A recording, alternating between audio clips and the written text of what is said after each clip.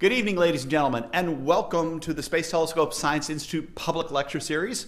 We have a special presentation for you tonight. This is not the first Tuesday of the month, it is actually the last Tuesday of the month, but we have a special workshop going on here at Space Telescope this week, and uh, the organizers of the workshop were grateful or, or, gracious enough to be able to find one of their speakers who was coming to the workshop anyways, who is also a wonderful public speaker, and come and give us a public talk tonight.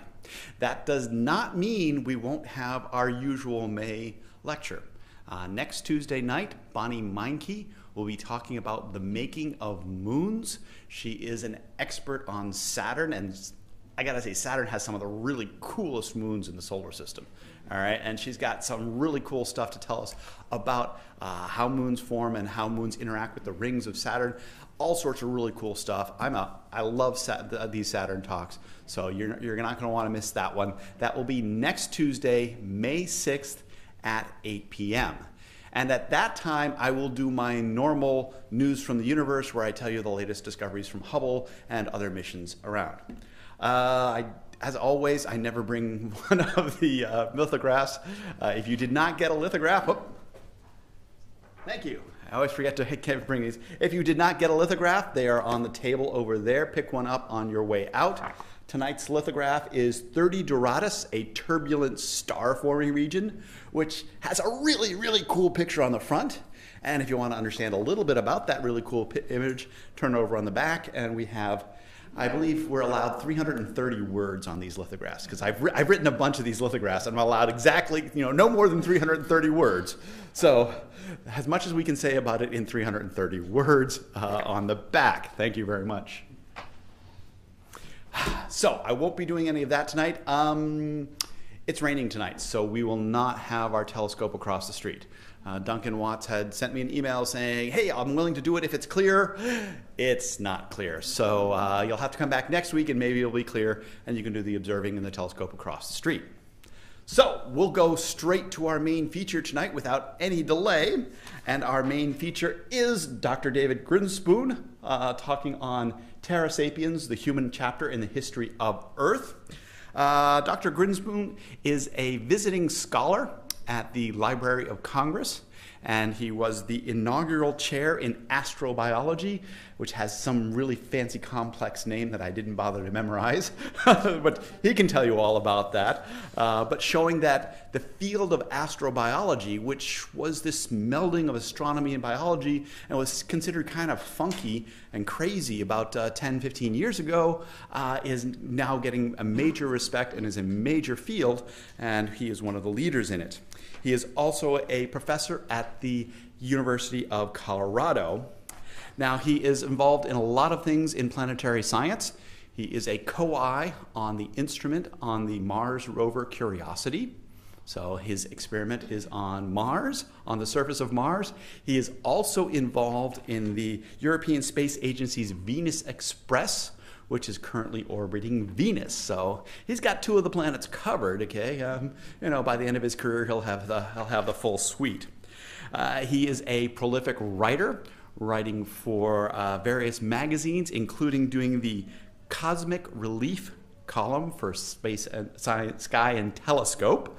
Uh, he is author of several noted books, which have won various prizes that I didn't memorize.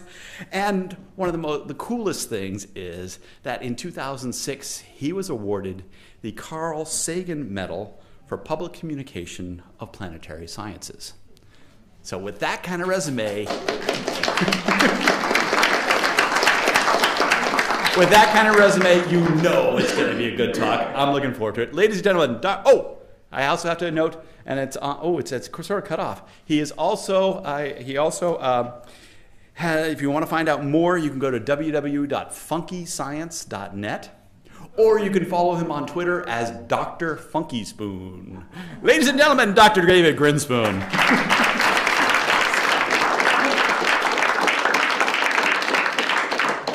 All right, thanks a lot. Thank you so much for coming out tonight.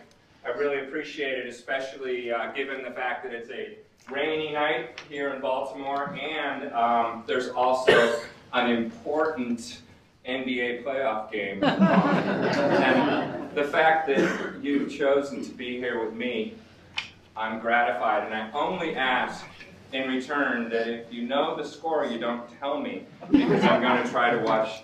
Oh, is it? It's not on. Do I need to push a button? Yes. Ah, excuse me a moment. You're missing all my witticisms. now watch while I do this gamely effort to. What do I do? Oh, I haven't used this one. Oh, what about this? It says push. Try. Uh, yeah, it's green. Did that work? All right. How many astrophysicists does it take? Any rocket, rocket scientists in the house? Yeah. Anyways, yeah, so if you know the score of the uh, Bulls Wizards game, don't tell me so I can watch it um, later. And uh, also a big hello to any of you watching on the internet tonight. Hi, Mom. Hi, Dad. and at least I, I know those of you watching on the web are, are watching the basketball game at the same time. That's what I'd be doing. Or you're like, oh, a timeout. Quick, let's watch some astrobiology. Um, all right. Anyways, so Terra Sapiens, the human chapter in the history of Earth. What am I, an astro, a mere astrobiologist, doing talking about this? Well, it all began when I saw an advertisement for this kind of unusual job that was mentioned in the introduction. a couple years ago, I saw that there was a new position being established for a chair of astrobiology in the Library of Congress, jointly supported by NASA and the library. And they were specifically, and, and that kind of caught my attention. I said, wait, what, what are they talking about? A chair of astrobiology uh, at the li- library? I've never heard of such a thing. And then I read the fine print, and it said they were specifically looking for somebody to do sustained research at the intersection between the science of astrobiology and its humanistic and societal aspects. And I thought, huh, maybe that's an opportunity to write that book I've been thinking about and had backburnered for the last several years about human civilization as a sort of almost astrophysical or cosmic phenomenon. And so I already had a proposal in the works, which I reformatted in the proper form for this proposal and added some other things and sent it in. And I was very gratified to be selected as the inaugural astrobiology chair. And the title of my proposal that I submitted was this Astrobiology and the Anthropocene Era Exploring the Potential Roles of Life and Intelligence on Earth and Beyond.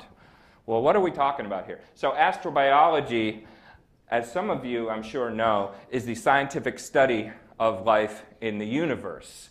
So we study very carefully the record and history of life on Earth and the extremes of life on Earth, trying to understand the limits and universals of life. And we also study the environments in the rest of the universe to try to extrapolate and understand where the universe may be life friendly.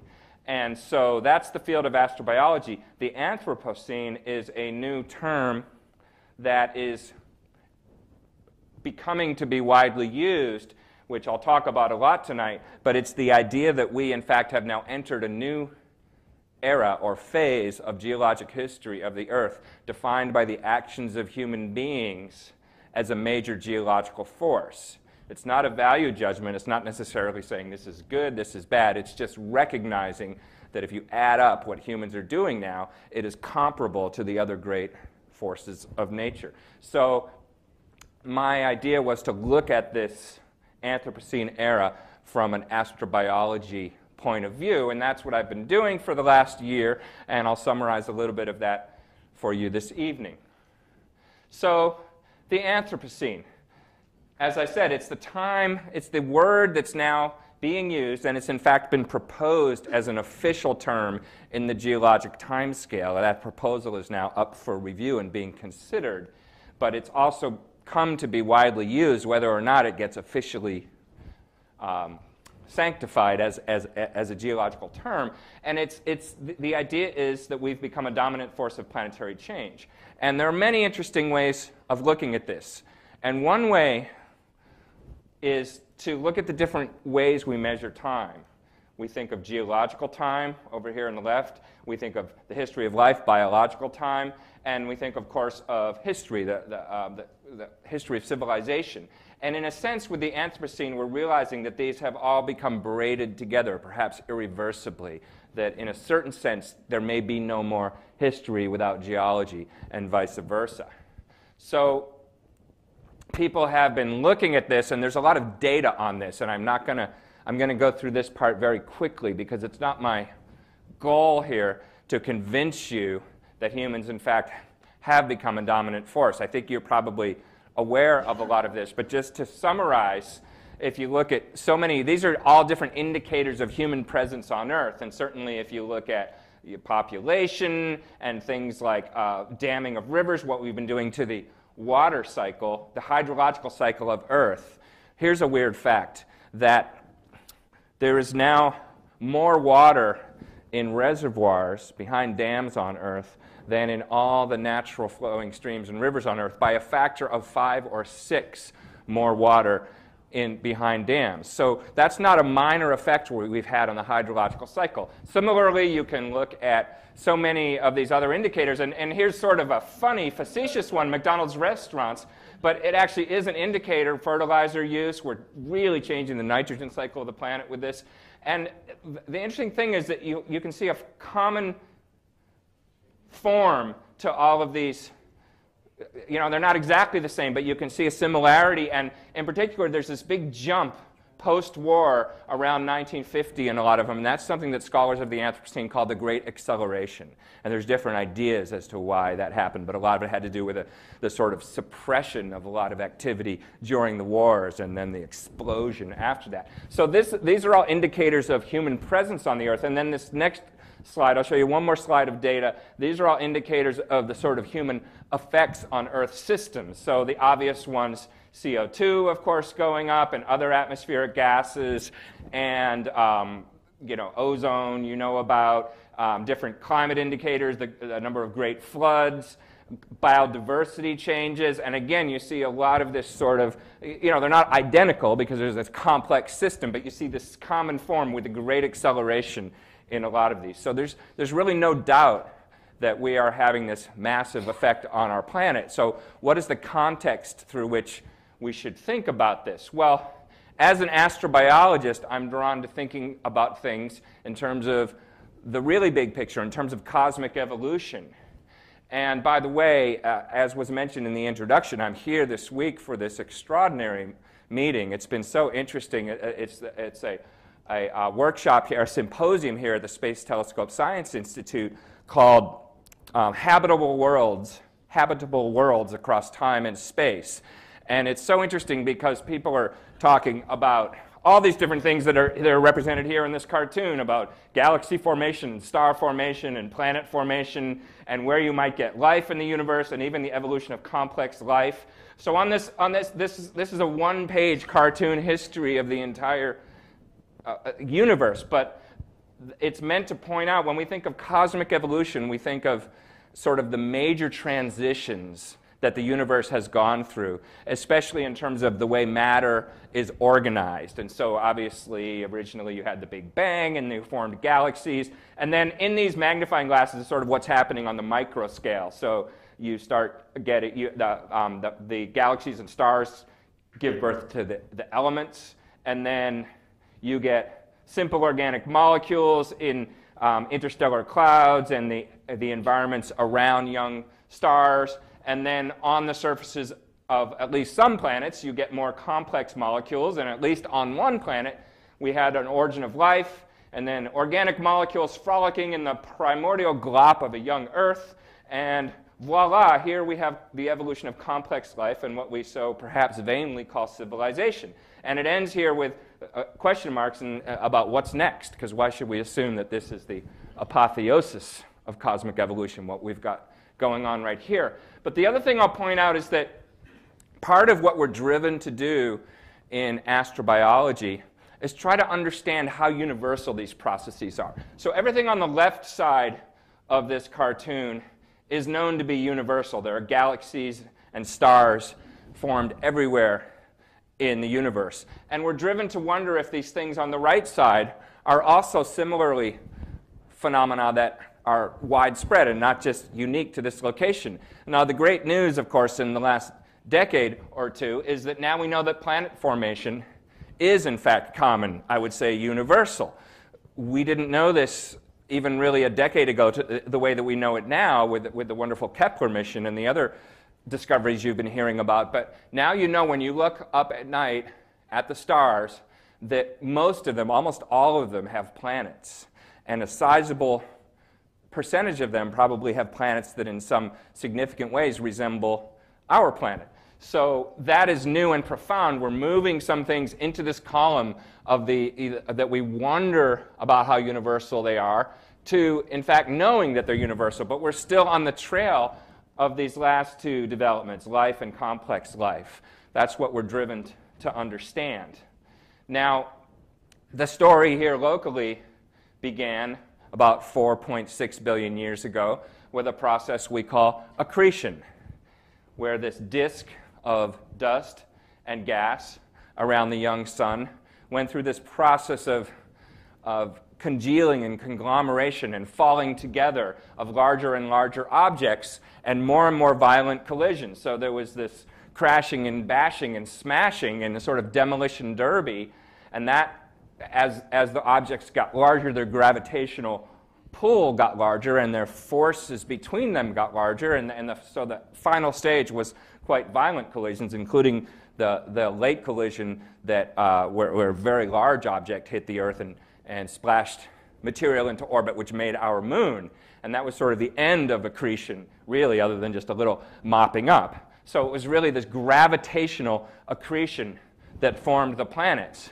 Now, I'm going to skip some steps and, and rush ahead about four and a half billion years, but something remarkable has happened on one of those planets. If you had been watching Earth, say you were a patient alien watching Earth for all of these billions of years, you would have noticed a lot of activity in the interim. Say you were watching the night side of Earth. It would have been pretty dark throughout most of that period. Yeah, you would have seen the occasional flash of lightning, the occasional splash of, of aurora, the northern and southern lights.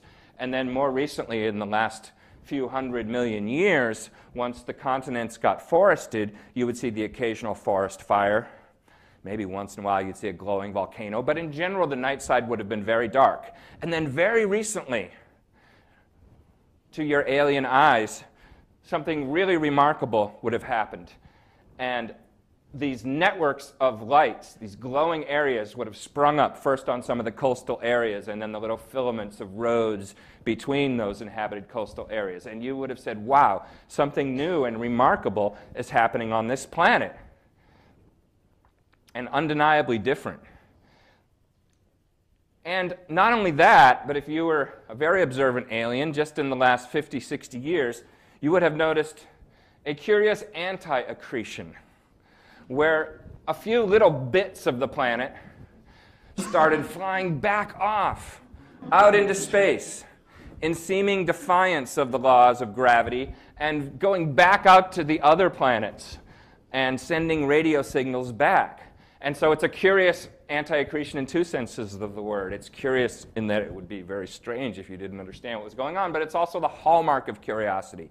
A species on this one planet has started to send emissaries to the rest of the solar system asking questions, seeking information about origins and context.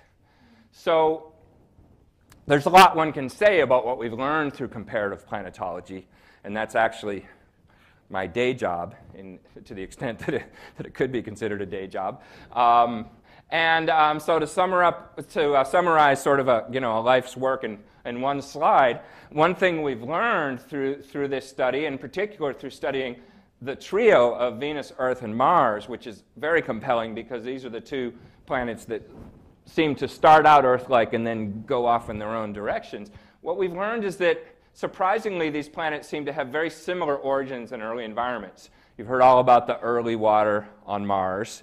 We're still learning more about that, but there's a lot of evidence that Mars was a warmer, wetter place when it was young. And Venus, too, we think had, had oceans and a sort of warm, friendly surface environment when it was young. We've got to do a lot more exploring to really get that story straight. But that's what we think. They had similar origins. And so it may be that the conditions for the origin of life are common that rocky planets start out that way and start out with similar conditions to those that on Earth seem to facilitate the origin of life. And it may be that what's rare is the persistence of a habitable planetary environment over, over cosmological timescales, over billions of years.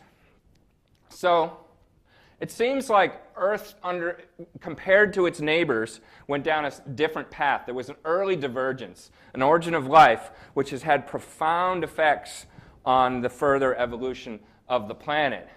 In fact, uh, my, co- my colleague, Colin Goldblatt, at a recent meeting, put it this way He said the, the defining characteristic of Earth is planetary scale life. And Earth teaches us that habitability and inhabitants are inseparable. In other words, the more we study the Earth, the more we realize that Earth has, uh, that life has really got Earth in its clutches in a deep way. Obviously, it's changed the atmosphere, it's changed the look of Earth from space, it's changed the hydrological cycle, but even more and more now we're realizing it's changed the rocks and the minerals. We heard a great talk about that today, that, that Earth has three times the mineral diversity because of life. Uh, there's the range and number of minerals that, that the chemistry of life does to it that it would have if it was a lifeless planet. It's even changed the interior properties of the planet. So, so life it was this early branching point, and then subsequently, for nearly 4 billion years, Earth has been evolving under the influence of global forces that have seemingly not been at work on our neighboring planets. So there was a branching point.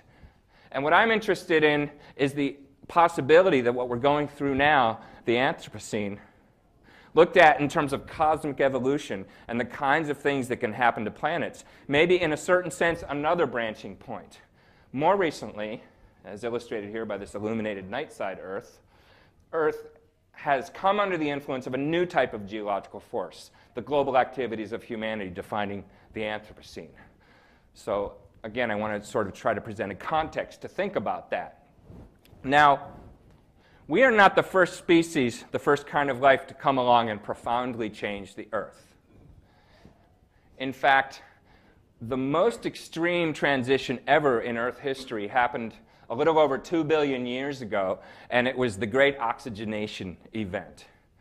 Now, we think of oxygen as this wonderful thing, and we're glad that the Great Oxygenation, oxygenation event happened uh, because we like oxygen. I love oxygen. it's a good thing. But at the time, it was a disaster. It was a profound change and it led to a mass extinction because oxygen is poisonous to organic life. Life now has evolved to make use of that violent reaction that oxygen goes through with organic chemistry. That's how we live. We power ourselves on that, that um, combustion reaction. But when the oxygen first appeared and life how to handle it, it was disaster. A lot of species went extinct. So oxygen is poisonous. And not only that, it may have caused a great, huge global, global climate disaster. There's something that we call the Paleoproterozoic snowball Earth. It's one of the few times in history when Earth has become completely iced over and may have become almost irreversibly iced over. There's a state where it can become stably glaciated because when a planet gets iced over, it reflects more sunlight and sort of keeps itself cool. Fortunately, the volcanoes came to the rescue and pumped up CO2 and got us out of that trap. But nonetheless, it's a scary thought that a planet, you know, if a planet's a little bit farther out from the sun, maybe it could get trapped in that state. So what happened was probably at, the, at that time, Earth was being kept warm by a methane greenhouse, a CH4 greenhouse. And then the oxygen came along, and oxygen destroys methane, and it collapsed the climate and led to this global freezing. So it could have been a close call to irreversible planetary destruction. And my you know, slightly facetious way of describing it here is that by innocently exploiting a new energy resource, because that's all that the cyanobacteria who did this were doing, they said, oh, great, solar energy, we love it. Let's multiply and do more and more of it. They, free energy. That's all they were doing was exploiting an energy resource. What's happening? How weird. I started hearing myself. Put the kibosh on that right away. Um, it's going to mess me up. All right. Those irresponsible bacteria caused a global environmental catastrophe. Now, I'm joking because I don't really think that bacteria are capable of being irresponsible. But looking at that question, what is the difference between what we are doing, between us and the cyanobacteria, is one interesting way of thinking about the transformation that's going on now on Earth. So, as I said, we're not the first species to cause global change. So, what have we got that the cyanobacteria didn't? Well, now you get into what I'm sort of grouping together as human qualities here. And these are all sort of loaded concepts, and we could argue them, each one. They're, it's an interesting question, really, what does distinguish humans from the rest of life? But these kinds of things are what are usually discussed language, tool use, art, technology, intelligence, consciousness, foresight, awareness, responsibility. Uh, any one of these you could argue, but I think collectively you get the idea. They form this set of qualities that makes us human and differentiates us from, for example, the cyanobacteria. Now, somebody joked to me, and I think in a way it's true, that these are actually all the things that we don't have quite enough of to get ourselves out of this predicament. May be true. But, you know, it's interesting to look at this as a group of qualities that we have. And you can ask in evolutionary terms are these qualities adaptive? That is, will we actually, do they facilitate survival? Or are they in some way an evolutionary dead end? Could they be a potential gateway to great longevity? Uh, one can see how they might be. These are ways of solving problems. And obviously you can imagine problems that can be solved by creatures with these that, that without these qualities would, would threaten your existence. If an asteroid is heading your way, the cyanobacteria wouldn't be able to do anything about that. In theory, we could. So one can imagine these as qualities that might threaten our survival or might ensure it. And if civilization is now a planetary process, what are its prospects here and elsewhere in the universe? Are there things about this list that can be extrapolated to evolution of complex life on other planets? So, in order to get a little more of a handle on this, and, and again, working on this question of how to contextualize what is happening, I'm going to present to you a, sort of a taxonomy of catastrophe here. Here are, I've looked at the different kinds of planetary changes that happen, not just on Earth, but on planets in general. And I've grouped them into four categories, classified with respect to the influence of life. And I call them natural disasters, biological catastrophes, inadvertent catastrophes, and intentional changes. And let me say a little bit more what I actually mean by these four kinds of planetary change. So, planetary changes of the first kind, natural disasters, I don't mean exactly what we normally mean by that phrase. What I mean specifically is drastic changes that happen to a planet where life had nothing to do with it.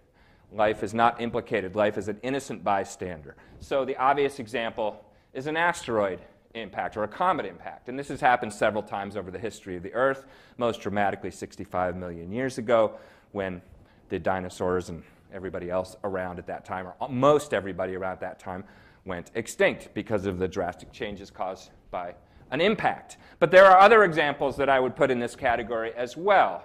What we call large igneous provinces or major volcanic episodes where the earth goes through some sort of burp in its interior and there's a massive outpouring of lava. And some of these are so dramatic that they cause huge climate excursions, and we know they can lead to mass extinctions. Uh, some of the famous ones, the Deccan traps in India, um, close to the time when the dinosaurs got wiped out, um, over 60 million years ago. The uh, largest one on Earth was the Ontong Java Plateau here in the South Pacific. And the, the, um, the Siberian traps up here in Siberia uh, have recently been implicated in the greatest mass extinction of all, what we call the Great Dying or the Permo-Triassic extinction 250 million years ago happened to be just at that moment when there was a massive outpouring of volcanic lava and the gases that change the climate and change the chemical environment that life needs 250 million years ago. Now, it turns out that the plot thickens and that that particular catastrophe might have been a combination of category one and category two because there was a biological component to that where it seems as though bacteria that made a lot of methane might have contributed to that extinction. So that brings us to planetary changes of the second kind, biological. And I symbolize that here with the green leaf because the best example of that is the one I've already been talking about the evolution of photosynthesis, which was very much the result of biological evolution and led to a huge catastrophe, a huge change in the chemical and climate state of the planet, and mass extinction and all that follows. Now, the third kind of change I want to talk about is basically what's happening now inadvertent change. And I'm symbolizing it here by traffic. And these are all the kinds of unplanned but massive changes that humanity is inducing on Earth. And the fact that we are having these huge effects on the planet, but they're not, it's not intentional. Nobody got together and said, hey, let's change the CO2. It's just happening as a result of our success at solving certain local problems with technology. We have these global unintended consequences. And this leads to what I call the Anthropocene dilemma, where if you have a species that has global influence without global control, then sooner or later that will lead to some kind of a catastrophe. And we're experiencing that now. Uh, some other examples of this, well, obviously, um, atmospheric CO2, and this is, this, is, a, this is what we call the Keeling curve, CO2 changing over time, and this is actually, this plot's a few years old, it's a decade old, and now you'd have to extend this up. We're over, we've just crossed over 400 parts per million CO2, and the consequent effects of that, of course, the very worrisome disappearance of sea ice in, in the summer and, and fall.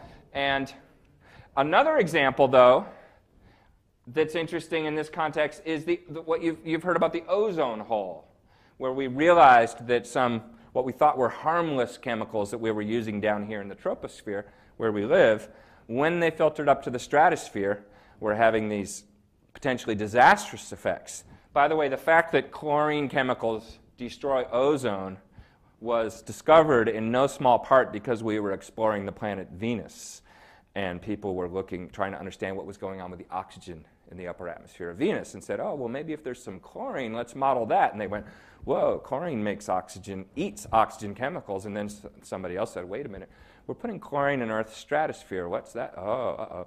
And, and sort of sounded the, the alarm. And so this is, this is an example of how planetary exploration and the larger intellectual exercise of comparative planetology can, can help us out here and make us smarter about our own planet. But it's also an example of the next kind of change, the fourth kind of change that I want to talk about, of, of planetary change, intentional. Because the nice thing about the ozone hole uh, in this context is that it's actually being fixed. The problem was recognized, international discussions ensued, international agreements were formulated, and it's being fixed. It's not perfect. There's still some illegal bootleg using of Freon, but it's enough so that we're on track. And if we continue on the path we're on, the ozone is going to be okay. So it is an example, a proof of concept, if you will, that this fourth kind of change, which in this context I'm saying is a different category of global change, is possible, intentional change. And now I'm going to tell you some other examples that I think fit in that category. So, what do I mean by intentional global change? Well, I'm talking about change by truly intelligent life. And in fact, you can say, what do I mean by that? Well, I'm actually suggesting here that this is an interesting way of defining intelligent life. That maybe a planet doesn't really have intelligent life in a meaningful way until you get life that can enact this kind of global change, or at least it's a certain, certain interesting definition of intelligence. Because what good is intelligence? Certainly, what good is technological intelligence if it's self destructive? That's not really, doesn't seem all that smart or intelligent to me. So, one might say that this is a way you could think about defining intelligence, or certainly a, an interesting and worthwhile development on a planet to reach the stage where you have this kind of intentional global change where intelligent life acting with forethought and an awareness of its global role and the global consequences of its actions takes responsibility. And so here's some examples. I mentioned ozone replenishment, which is already underway. Yay. Now, another example would be intentional halting or reversal of industrial global warming. Now, that's currently under discussion. And you know, you could chuckle when I say that, but actually I see that as hugely important. It's a big change. This wasn't true. We weren't having a global discussion about this a decade or t- certainly two decades ago. Now, you might worry that it's too little, too late. I worry about that. But I think the fact that there is now a growing global awareness and discussion of this is actually hugely significant and, and quite positive. Now, other possible examples of this planetary defense, and now I'm talking about defense against asteroids, which sooner or later would do in the biosphere in a major way like they did it uh, did in the dinosaurs and their their fellow species at that time. But we know now how to find the dangerous asteroids and we think we know how to stop them to build a planetary defense system. And it's a work in progress because uh, we, you know, we're already doing the necessary observations, and people have plans and ideas about how to do this. And in fact, if we found a dangerous object and we had a decade or so, which we probably would, we could do something about it. So you, we may have already passed a threshold where that's not the threat that it was. Now, people talk about geoengineering. That's very controversial, rightfully. It's not the kind of thing you want to do callously or uh, ignorantly, but my view of ge- geoengineering is it would be foolish to attempt it before we know what we're doing, but then in the long run it will probably be a good idea and be necessary. And I'll talk a little bit more about what I mean by the long run. Uh, another example, well, that I would claim goes in this category is the terraforming of Mars. The idea that we could take another planet and make it more Earth like and a friendly place for Earth life if we wanted to. Now, whether or not we do want to is a different question. There's a whole ethical dimension of this. And I'm comforted by the fact that we don't currently really know how to do this. Because I don't think it would be a good idea to rush out and decide to do this.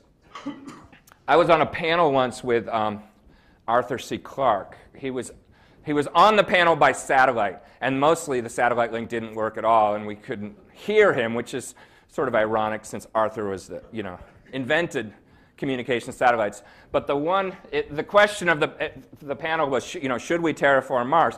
And Arthur's voice actually, in a ghostly way, came in loud and clear for him to say one phrase, and then it disappeared again. And the one phrase he said was, well, I think we should ask the Martians first.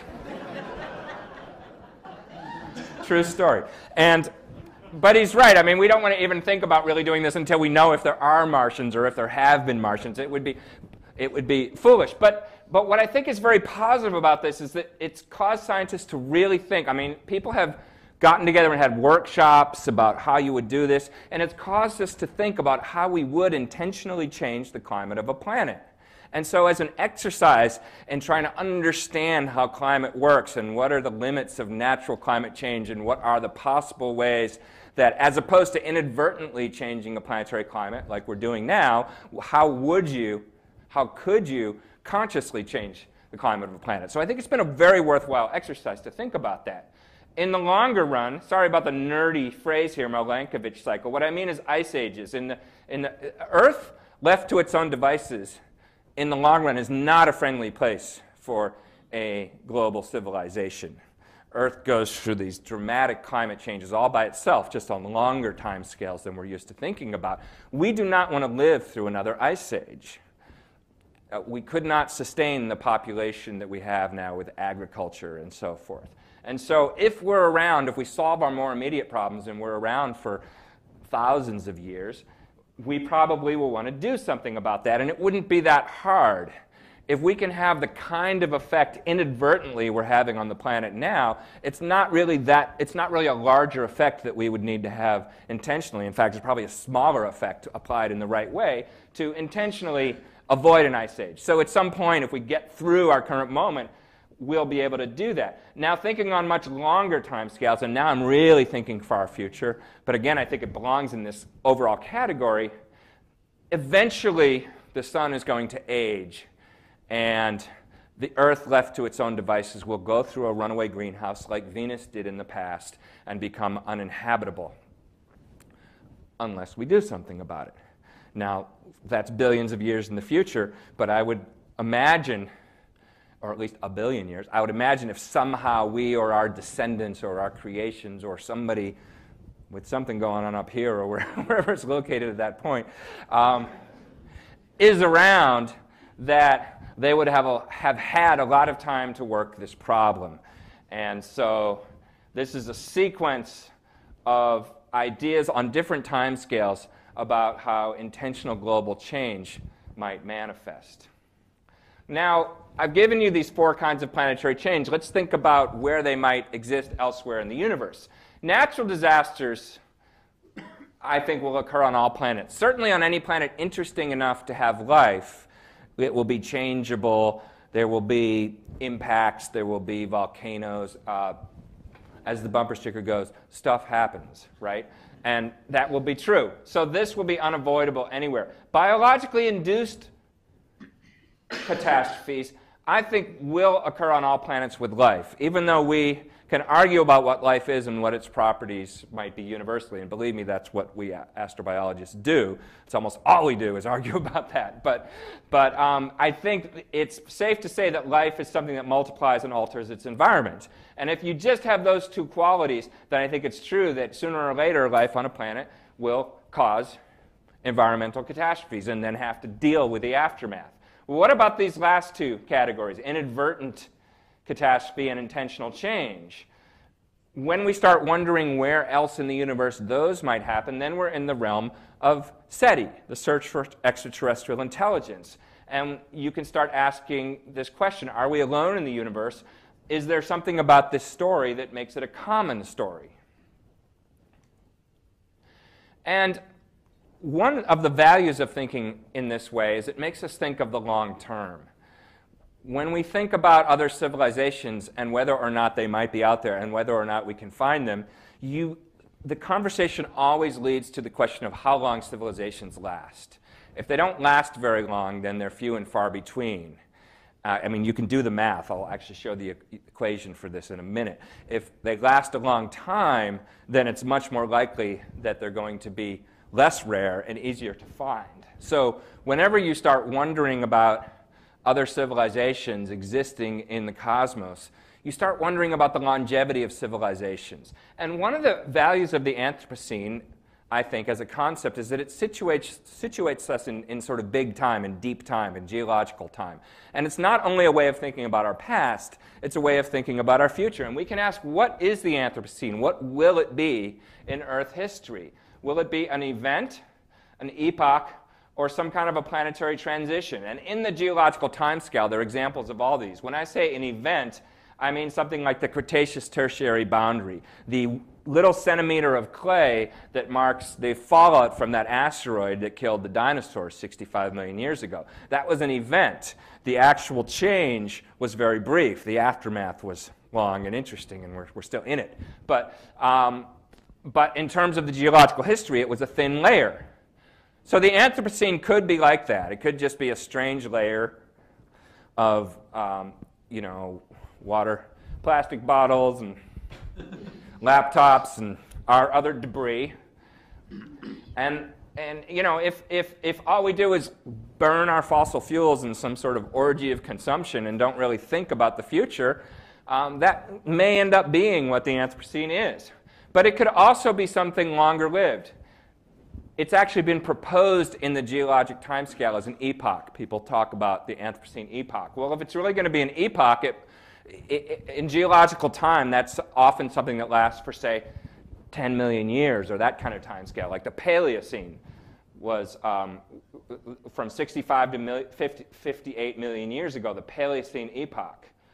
So the third possibility, I think, is that it could actually be something more profound, a planetary transition. A few times in the history of Earth, the planet has gone through a major transition such that the rules of change on the planet are fundamentally altered before and after. An example I talked about earlier was the origin of life, which forever changed the planet. Another example, well, I mentioned the rise of oxygen. I think that rates as a planetary transition. There's also the Cambrian explosion about 600 million years ago when multicellular complex animal and plant life burst on the scene and really forever changed the planet. So I wonder if the Anthropocene might also be a planetary transition, if somehow this new kind of geologic change that we've been discussing might be a part of the planet's operating system for, for the rest of time on this planet. But what would that take? Well, this is another way of asking again, is human style intelligence adaptive or self limiting? Whatever's going on here, is it something that actually could last? Or is it something that is inherently self, self-destructive, self-limiting? Um, th- the answer, of course, is we have a choice. As that great philosopher, Sarah Connor, in the movie Terminator, carved into the picnic table in that one scene down in Mexico, the future is unwritten. There is no fate but what we make. Okay, so obviously we don't know, but it may be that our actions will determine which of these the Anthropocene will be. It's funny because people talk about the Anthropocene and, they look over on this right side, and the big debate now in the geologic history is if we've actually passed from the Holocene epoch to the Anthropocene epoch. But I actually think maybe they're looking at the wrong side of this chart. It may be, if you look over on the left side at the eons, the really big transitions, the origin of life, the Cambrian explosion, are um, representative of Cambrian explosion, are representative of new eons. And I wonder if, in fact, maybe what we are talking about is at least potentially, if it's really going to be a transition in the way the planet operates, it might be something much more profound than a new epoch. It might be a new eon of geologic time that we're entering. Anyways, the problem, of course, is ourselves. And many, uh, many sagacious, smart people have talked about a kind of 21st century bottleneck that we're facing. I'm talking about people like Sir Martin Rees, who wrote this book, Our Final Hour. He gives us a 50 50 chance of surviving the 21st century. Which doesn't sound great, but it's, you know, it's fighting odds. Um, and E.O. Wilson, Harvard biologist, um, in The Future of Life, he also talked about this 21st century bottleneck. That is, if you look at this confluence of all these problems we're facing in areas of population, energy, global warming, biodiversity, and then these other potential high tech problems of um, potentially dangerous new technologies, nano, bio, cyber, and experiments we might do that might run, a, run, uh, run away from us. There's this sense of a, of a bottleneck, a convergence, that either we will, at the end of some period of time, it's maybe a century, maybe 500 years, I don't know, but it's, it's less than a thousand years, that we will either come to a new maturity in the way that we deal globally with our, our technology and manage our world changing technology. I mean, this is what we're dealing with. We now have technology that can change the world. So, can we handle that? And the, the reason why people represent it as a bottleneck is because of this in a sense, it's a choice that we have all these ways to limit our future, but we also have ways to greatly enhance our future. Obviously, technology, um, you know, th- these are, this is a focus on the negatives, but you know, those of us that, that enjoy our um, lifespan and the medical technology we live with and like to think that we would stop a dangerous asteroid in its tracks um, recognize that there, you know, there's a dual-sided nature to, to this. And so if you think of it as a bottleneck, that we could get to the other side and have a more mature relationship with our technology, or that a civilization could, then that introduces another possibility the possibility of great longevity, where, in fact, natural disasters that otherwise would kill us are things that we've learned how to handle. And then that leads to this idea, this bottleneck idea leads to a sort of bifurcation in the lifetime of civilizations. What do I mean by that? Oh, and if this wasn't enough, we also have to worry about the zombie apocalypse. So there's really a lot to worry about. So, you know, if we if we don't make it through this bottleneck, you've heard about the habitable zone, right? The Goldilocks problem. Well, so if we don't make it through this bottleneck, one way of thinking about it is, you know, Mars was too hot. Mars, Mars was too cold. Venus was too hot. and Earth was too dumb. This is my friend, my friend Jon Lomberg drew this cartoon, but there's another possibility, of course, and one that I think we have no choice but to strive for. And that is the possibility of what I call quasi immortality. That if there is this bifurcation in the lifetime of civilizations, what does a civilization look like that has made it through the other side of that bottleneck, that has learned, really learned to use technology in the, surf, in the service of survival? And in my view, there's a possible state that, it, that even if it's rare, maybe most civilizations in our state are short lived, and maybe technological prowess is usually not adaptive. But if some civilizations, if any civilizations, make it through the transition to being a sustainable technological global civilization, I think they may become sort of quasi immortal. And what I mean by that is a sort of deep enough understanding of nature and self understanding, and that may be the hard part, uh, which gives an ability to forestall natural disasters and even eventually maybe spread beyond one planet, which gives a certain kind of life insurance policy. And I say quasi immortality because the universe is probably not going to last forever, and I'm not sure even these really successful civilizations will be able to uh, deal with that. Well, Isaac Asimov had a good science fiction story about that. But, um, and so I, see, I see I'm, I'm, getting a little late on time, so I'm not going to go through all this really. But the point of this is getting a little nerdy, but if you do the math, and you think about the number of civilizations here, and you think about the lifetime of civilizations, the way people normally think about this is there's some average lifetime, which people call L.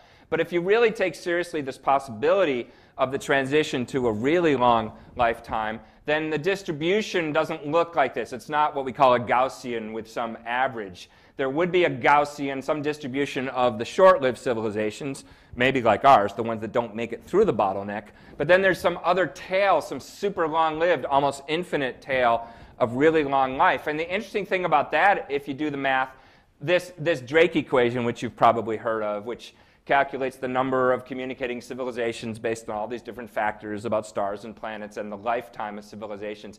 It sort of assumes a steady state.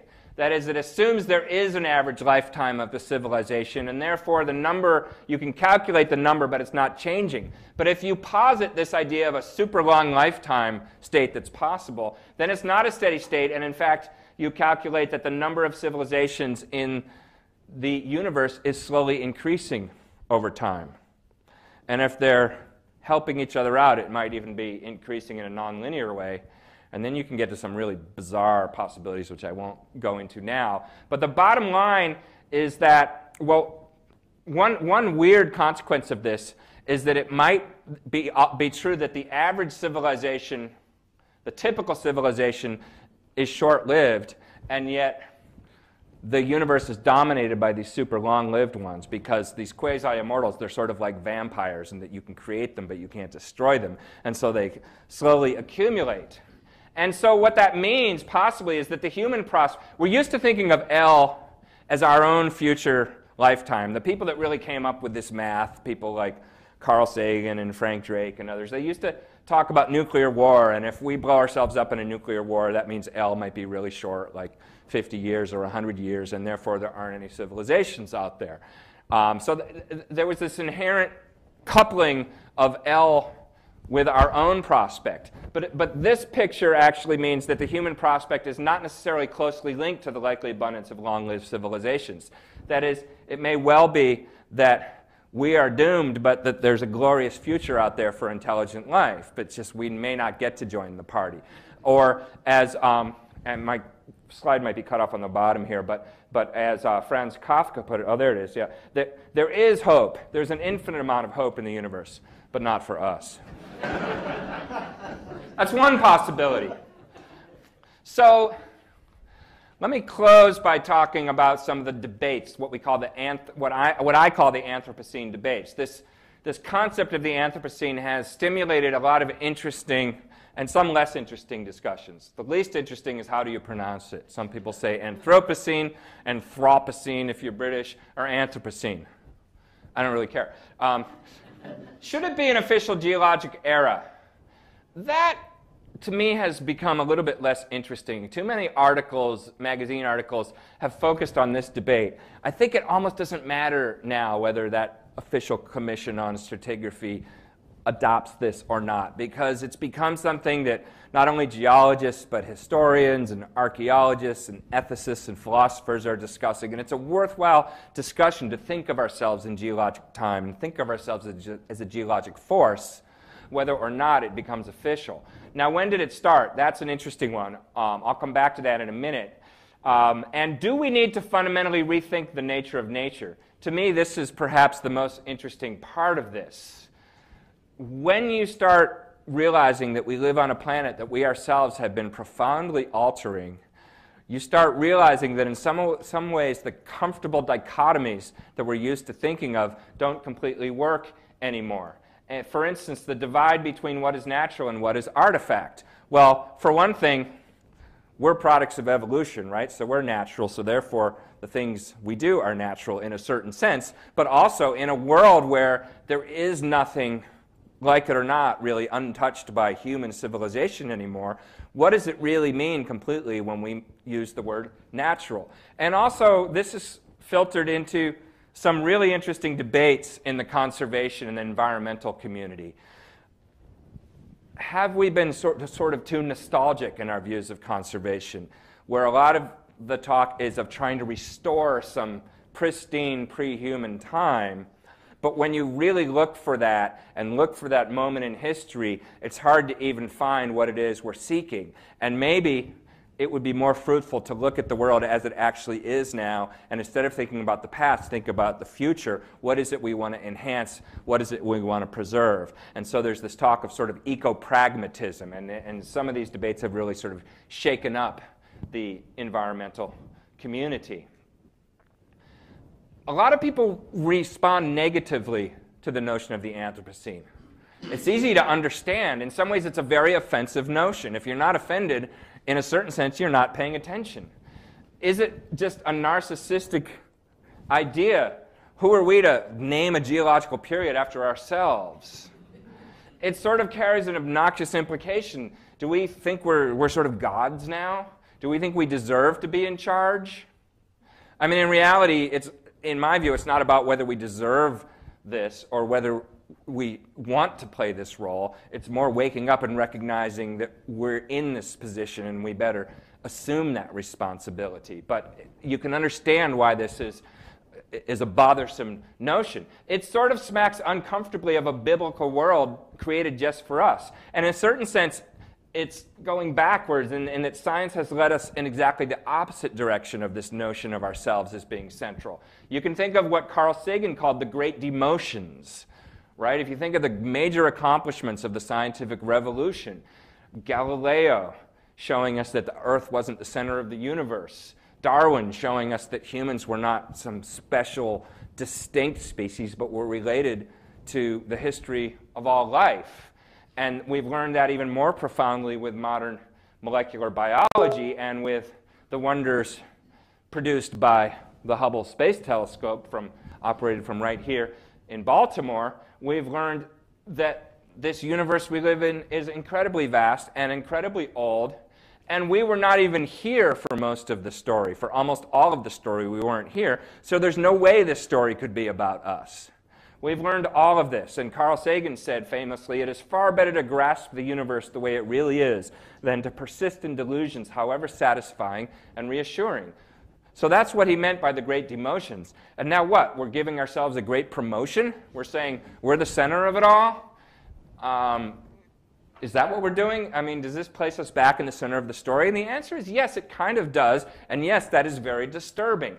But the point of science, as Carl did like to remind us, is not to comfort ourselves with what feels good, but to try to see things as they really are and then deal honestly with what we've learned. And you can turn this quote around. If we want to grasp the universe the way it really is, we have to look at what's really going on on Earth. And whether we like it or not, we are a big part of the story right now. If we add up the evidence, Earth science has to recognize the Anthropocene because the rules have changed and the Earth is becoming unrecognizable. So a lot of people, again, have had a strong response against this. In fact, here's something that was published recently by an environmental philosopher whose name is Kathleen Dean Moore. She called this Anthropocene is the wrong word. And she talks here about how, yes, we're bringing the Holocene to a dismal end, And you can read this yourself. She's talking about, you know, how we, we've doomed ourselves and destroyed the prospects of all other beings. And, you know, basically a, a, an eloquent summary here of this moral monstrosity that we are. You know, it's pretty anti human, and you can sort of understand why. And she suggests no, we should call this the unforgivable crime scene, or even just the obscene epoch. Now, she's got a point, but I worry about this anti humanism as a major theme in the way we talk about the environment, about what's happening on Earth. If you look at the metaphors we typically use to describe the human imprint on Earth, there we talk about we're a cancer on the earth, we're a virus, we're criminals, we're raping and murdering the rainforest. And I mean, you can understand the origin of these. There's a truth to this. If you look at the patterns of our development, there is a lot that's sort of cancer-like. And yeah, when I when I hear about the imminent extinction of some great species of African rhinos or the way that the elephants are, are, are, threatened or the big cats are threatened, and those are just the charismatic species, so many others in this mass extinction we're causing. It is a kind of crime. But I just think that these metaphors for ourselves are maybe not the most helpful as we go into the future. Can we think of ourselves, it, can we recognize the position that we're in and yet think of some other ways to envision ourselves that help us carry into the future a more positive view of the imprint that we should be having, that we could have on the earth. And I don't know exactly, but I've toyed with, and I'm not the first to suggest some of these. In a certain sense, we're like babies. Here we are. Nobody's ever taught us how to run a biosphere. We don't know what we're doing, but we find ourselves here, and we better learn to get good at it. Or it's almost like somebody who wakes up at the wheel driving a heavy truck down a road and is going, Well, I don't, know, I don't know how to drive, but here I am. What do I do? I mean, that's almost the situation we are on this planet. Like it or not, we have to learn how to drive this thing. Um, I have a couple other metaphors, but I'm, I'm running low on time. So maybe some of you know the notion of a generation ship because of probably a two or three of you. I see a couple nodding heads are science fiction geeks. And in some sense, I think we're on a generation ship and that we're kind of waking up to our new reality and realizing we have to find the controls of this thing and learn how to drive it. Or you could say maybe we're like the microbiome of the earth and we want to try to be the commensal microbiome, the good microbes that actually live well with their host. Or in some sense, we're like the nervous system. Maybe we want to be the brain of the earth. These are all just sort of different ways to think of ourselves that maybe can be a little more aspirational. Um, I'm going to skip a couple things here. Somebody recently said maybe we shouldn't think about the footprint, but the handprint. After all, this is what really makes us human. Interesting idea. Um, okay, so getting back to very briefly to this question of when it started, people have talked about, well, maybe it goes back five or even 10,000 years to when we, we really started, or at least 5,000 years to when we started altering the landscape with agriculture. And in fact, at that time not only started changing the land surface of the planet, but changing the carbon cycle. And actually, there's evidence that climate change by humans started thousands of years ago. Some people think it should have started around the beginning of the industrial revolution with when steam engines started up and we really started using fossil fuels and changing the atmosphere there's been this idea that we should mark it from the date of the first atomic bomb test after all that leaves a nifty isotopic signature for future generations to find, and it certainly has a metaphorical potency of our realizing our powers. Now, these are all interesting moments in the development of humanity as a global species. And unfortunately, this has sort of devolved into an argument. People are actually fighting over this is when the Anthropocene should start. No, this is, and because they want to make it official. And I think that's a little bit silly. It's a little bit like arguing over, you know, whether Pluto's a planet or not. Because what's interesting is the qualities of Pluto-like objects, not what we call it, right?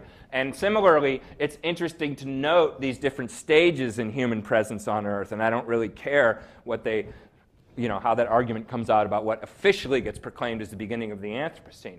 But as I think about this, I've also thought of a new way, perhaps, to think of the beginning that that is maybe even a little bit more hopeful. And that is that, in a certain sense, maybe it's just getting started. maybe it begins with the end of our innocence, with a mass awareness of our role as world changers. World changers. Because really, what makes this time, the Anthropocene, unprecedented here on the planet and worthy of a new name is our growing knowledge of what we're doing on this planet. Self aware, self conscious global change, I think, is a completely new phenomenon and a remarkable one on this planet. And so I'm wondering if we can define a new phase, the mature Anthropocene, marked by that fourth kind of planetary change, intentional, and regard that as something that we are trying to bring on. In that sense, we can think of the Anthropocene as something to be that we should strive for rather than that we should run away from. And in that sense, also, it's just getting started in our conversations. And what we're doing tonight, we're hopefully, in some tiny way, helping to bring on the mature Anthropocene. So, this is where I get the title of my talk and the title of the book I'm writing now, Terra Sapiens. It's the notion, the vision of a wise earth. That's what these words literally mean. And in order to get there, we have to become a new kind of entity on this planet. We need to learn, need to, learn to live comfortably over the long haul with our world changing technology. Now, one key to this, I think, is the widespread propagation of a worldview that is global and multi generational. And one hopeful truth is that I see this worldview developing. I mean, it's very easy to get discouraged, but the fact is, with these little gizmos that we can pull out of our pockets and have an instant conversation with somebody in Egypt about what's happening and pull up any data set from any satellite orbiting the Earth. We are becoming a new kind of entity, a globally connected, communicating, data exchanging entity. And that change is not necessarily completely apparent when you read the newspaper every day, and yet it, it is happening. Is it happening enough? Is it happening fast enough? I don't know, but I think there is a profound change occurring in the way we relate globally to one another and to our future. And one question, one interesting question as a scientist, especially, I think, what is the role of science in this? And there's been a lot of discussion lately in the community about how should scientists be activists? You know, when we're worried about climate and so forth. And it's an interesting question because there's dangers there. I mean, when you see an emergency, you want to do something about it. You don't just want to model it, right? But at the same time, we strive to be a sort of objective voice. And so, what is the proper role? It's not completely clear. It's an interesting question. But one thing that I find hopeful is that I think just by doing science and communicating science, science itself does lead to certain values that may actually be the ones, the very ones that humanity needs to survive this transition. Because when we look at Earth from space, say, with satellites, it doesn't look like this. It looks like this.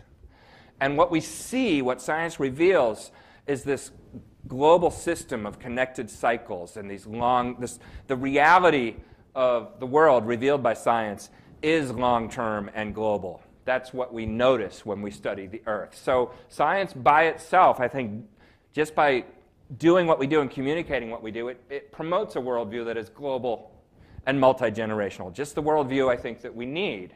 So, it's true, science is deeply implicated in the Anthropocene. We have a responsibility. We, through technology, which has a tight relationship with science, science and technology are not the same thing, but they're like that. Um, we have helped to bring on this great acceleration. We wouldn't be in this mess without science, but I think we won't survive without a lot more of it and without the worldview that it naturally encourages. Now, I'm finishing up here, but one of the joys of working in the Library of Congress over the last year has been well, there's a lot of books there. and I've gotten to read a lot of them. And one of my sort of pet side projects has been uh, something that I think I'll incorporate as, as sort of a, a chapter or a section of this book I'm writing, and I call it A Brief History of the Future, where I've been reading a lot of books about the future written in the past. Because it's very interesting to see what people say 100 years ago said about now, and what kinds of things they predicted, and how people get the future right and how they get it wrong. And use that to try to illuminate how we're thinking about the future now. And it's very interesting, a lot of smart people said a lot of very prescient things about where we would be now say, 100 years ago. But they also missed a lot. And of course, what they miss are the game changers. And nobody really gets it right. And, and out of this exercise, I've become convinced that nobody's right about the world 100 years from now. The climate modelers aren't right, the politicians aren't right, the, the prophets of doom aren't right, the techno utopians aren't right. We don't know, and I bet you, uh, looking back 100 years, that, that's the one prediction I feel like I can safely say. We don't know. And that, that uncertainty, though, gives, I think gives us a little room for hope. You know, we can't say that we're certainly doomed because, because the future is just so uncertain, but this book in particular is one of the one of my favorites that I've read in this sort of brief history of the future. It's by J.D. Bernal, um, and, and, it was, it's called The World, the Flesh, and the Devil. And I don't have the date here, but I think it was written around 1926 or 28. Um, and no less a sage than Arthur C. Clarke called this book the most brilliant attempt at scientific prediction ever made. So that's a pretty strong endorsement by Sir Arthur. And just, I, I recommend the book, it's really good, but just in case you don't get to read it, I'm going to give you a little spoiler here. Here's the very end of the book. This is the last paragraph. JD said, We hold the future still timidly, but perceive it for the first time as a function of our own action. Having seen it, are we to turn away from something that offends the very nature of our earliest desires? Or is the recognition of our new powers sufficient to change those desires into the service of the future, which they will have to bring about? So, in conclusion, Technological innovation is changing our world in surprising, accelerating, and unpredictable ways. And possibilities that until recently seemed magical are now imminent. So the future is frightening and exhilarating, but above all, it really is unpredictable. And this uncertainty leaves us room for hope and for choice and faith in ourselves. Personally, my view is that we're just getting started on this planet. And a quote from the Shakespeare Library, which I walk past every day on my way to work now, is we know what we are, but know not what we may be. Okay, thank you very much.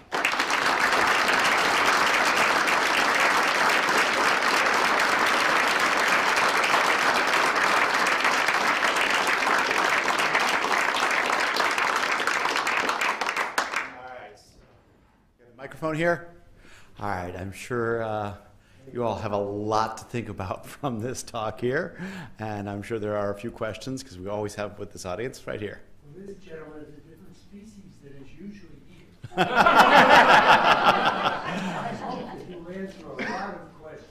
because it's really a different thing than usually listen. Yes. Uh, So I, I have this question. I'm always interested to read about people who are looking for life elsewhere. But why couldn't there be dry life up there? Why do we have to be looking for water? Uh, I just thought as SO, SO2 could be the same thing as methane is to us, or something that didn't generate water, as long as you had a reason. So why are, why are you guys Yeah. always looking for water? Great, great question. I think I want to repeat it to make sure that, that's what I uh, was going to do. Yeah, go ahead. that- that my mom and dad can hear it. Um, the question is why are we, we guys and gals, always looking for water based life? Couldn't, couldn't life have other kinds of bases out there in the universe? Why are we so narrow minded as to assume that life chemically needs the same things that we need? It's a great question, and I think you're right to ask it. And I think that we as a community need to keep it in mind. And in fact, it does come up a lot at meetings. And so there's a couple of answers to your question.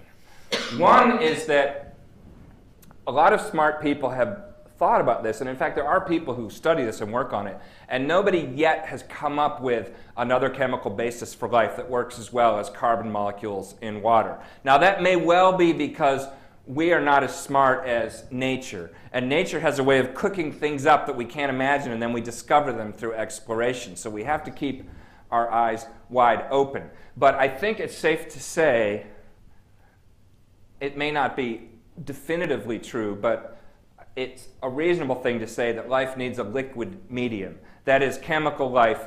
Liquid, you know, it's hard to imagine it in a solid because solids, crystals, nothing moves around. It's hard to imagine it in a gas because everything's just flying around all over the place. A liquid is a good place for chemicals to get together and do this sort of organized dance that life is.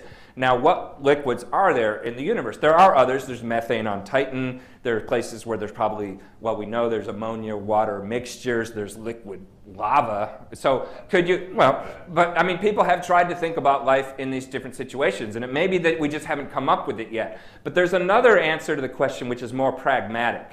You have to start the search somewhere. And we know enough about water based life. Even that, we don't know that much about how it may manifest. But at least we have some ideas about how to start the search. Now, the thing we have to be careful is you don't want to just be looking for your keys under the streetlight because that's where they're easy to find. And so, but a lot of people have thought about well, how do you find a biosignature, a signature of life somewhere? What do you look for that isn't assuming that life works just like us? And what a lot of people have come up with is what we call um, chemical perturbations to an environment or non equilibrium atmospheres. That is, look for a, an atmosphere that is radically altered as Earth's atmosphere is from the, from the state it would be in without something really weird affecting it. I mean, Earth would not have all this oxygen and other things like methane in the atmosphere without life. So, one thing we want to do is just look for weird atmospheres that could be perturbed by any kind of life. And then if you find a weird atmosphere, that doesn't prove you found life, but it makes you go, aha, let's study this planet more carefully. So it's a good question. We're working on it. We have this provisional sense that water-based life, at least, is a good kind to find. And water is a very common substance, does form liquid on some planets. But we do have to keep your question in mind. And somewhere in the universe, I'm willing to bet there is water-based life. But somewhere in the universe, I'm willing to bet there's probably non-water-based life. And so ultimately, we have to just keep our eyes open.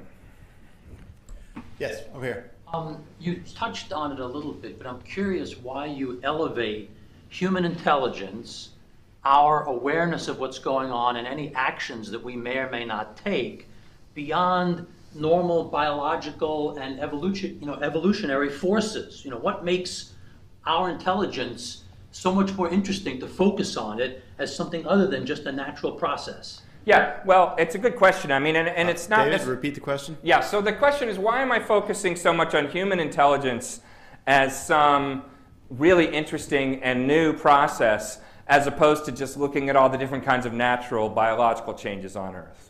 And that, you know, it's a, I, I tried to get at that a little bit, but maybe I didn't to your satisfaction.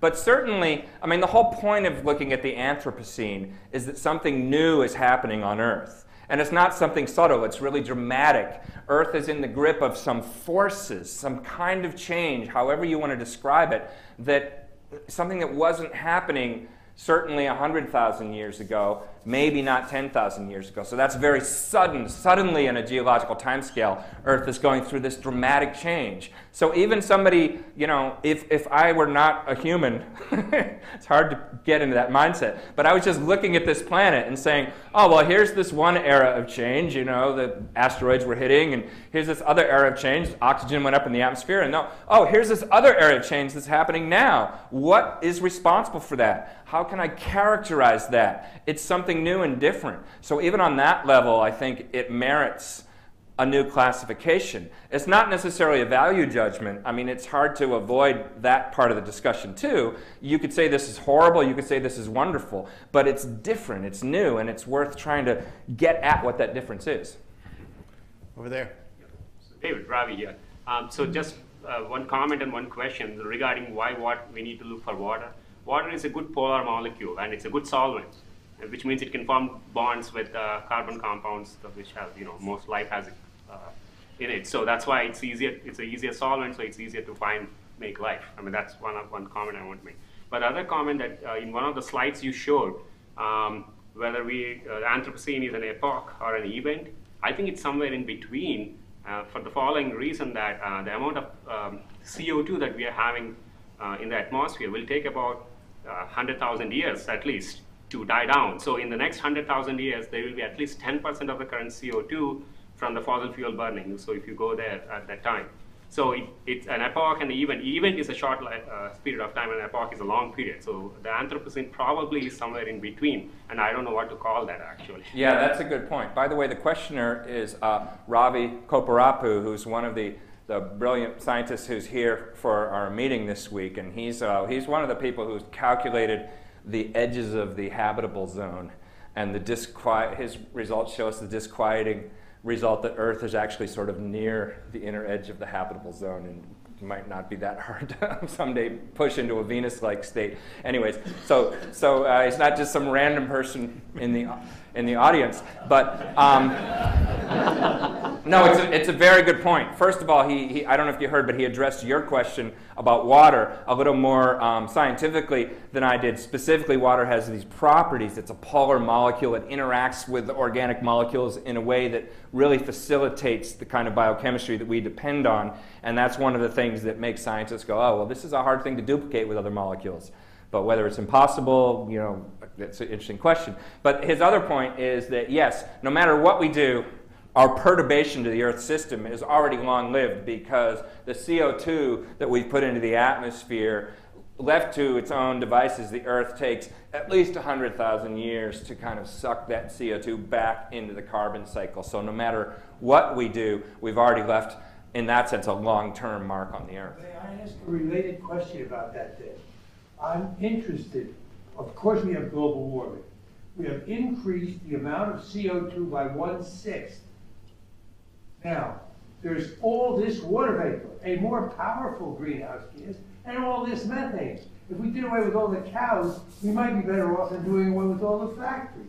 But I'm wondering, how can we say that one-sixth more CO2 with all this methane, all, and, and please don't think I'm a denier, I'm not. Yeah, no, I mean, I, I understand your question. He's saying, okay, so we've increased the CO2 by, uh, you know, by, by a sixth.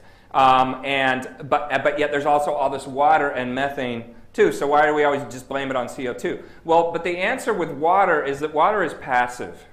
CO2 is something we directly do. The water responds to the temperature. So if you add CO2 and things heat up, water evaporates. So yeah, water is a big greenhouse gas, but we can't do anything about that. It actually responds to the other temperature changes. So it's a little bit of a red herring to point out that water's such a big greenhouse gas. It is, but that's because it's responding to other changes.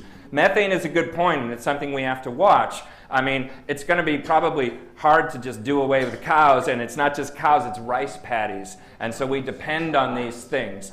But and termites. But but but there are other sources of methane, you know, in our production of, of natural gas and our oil mining and stuff, and, and methane, as you mentioned, is a potent greenhouse gas. So it's our responsibility at this point to pay attention to all these gases and do what we can collectively to try to draw down the greenhouse effect to the extent that we have control over it.